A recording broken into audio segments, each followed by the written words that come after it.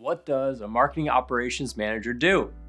Well, if you Google it, you might find a lot of conflicting information and unnecessary, complicated job descriptions. In fact, marketing operations job descriptions may be very different depending on the company you work for or the one you want to work for. This introduction isn't helping, is it? It gets better, I promise. The basis of marketing operations, also known as marketing ops, are data and technology. These two elements have become extremely important in marketing today, and it takes people with a lot of knowledge and patience, or maybe a data-driven agency partner to manage them. Let's dive a little deeper. What is marketing operations? According to Merriam-Webster Dictionary, oh, I'm just kidding. Think about your marketing as if it's a fast food restaurant, serving up delicious leads. In your restaurant, there are people making food, prepping orders, and serving it to customers. But all those people rely on extremely efficient processes and high-tech tools to work together so they can keep the food coming. Cash registers, fryers, ice cream machines, and grills all have to be put in place and running well in order to keep your customers happy. I mean, really, what kind of chaos would ensue if the drive-through window stopped opening. Okay, you would probably find a way to deal with that situation, but it wouldn't be ideal. Marketing operations does exactly this with a marketing team's essential tools and systems. You want potential customers to move through the marketing funnel drive-through as seamlessly as possible. You want your team to build campaigns as efficiently as possible. You want to generate leads as cost effective as possible. In plain terms, marketing operations focuses on how to streamline and enhance your marketing efforts so that your marketing team operates at peak performance. Now, we come back to our original question.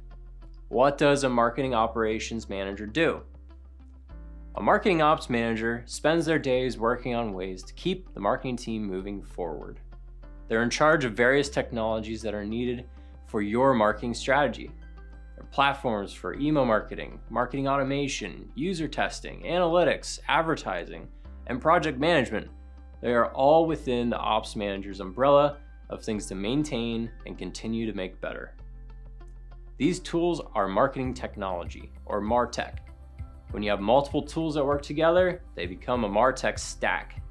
If you've got a lot of those, and they all need to talk to each other, it might be time for a marketing ops manager.